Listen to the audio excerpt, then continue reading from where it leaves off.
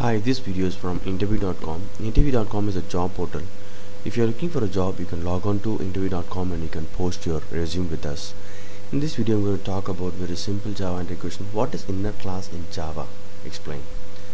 Inner classes are class within class. Inner class instance has special relationship with outer class. So this is outer class and this is inner class outer class and inner class. The inner class has a special relationship with with the outer class. This this special relationship gives inner class access to members of the outer class. So members of the outer class it can access as if they, they are the part of the outer class. The inner class instance has access to all members of the outer class public private and protected let's see an example so that you can understand. So I have written a written a program where you have an outer class and I have written an inner class. Inner class inside this inner class there is a method which is which belongs to this inner class. And I am trying to access the variable here okay? So let me try to access a public variable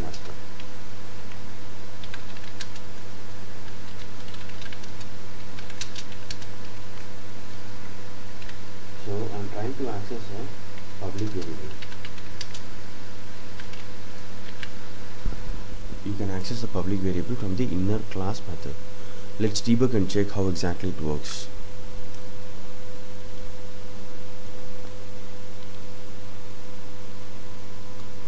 So we have created we are creating this is the way you should create the object for the inner class. Can you see this is a little bit different? Usually we used to create an object using new operator and, and the class name. But here we are having a different syntax to create the object of inner class.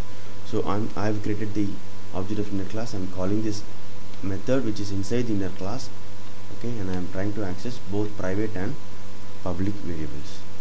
So why do we need inner class? In object oriented way.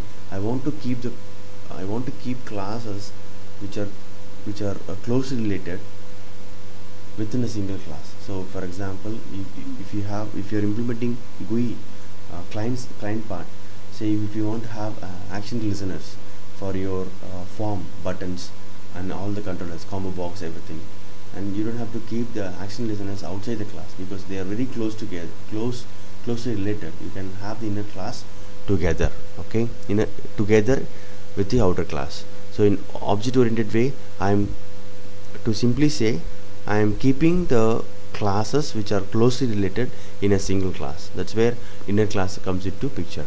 Hope this video is useful for your java interview preparation. Thank you and all the best for your interview. If you like this video please press the like button. Thank you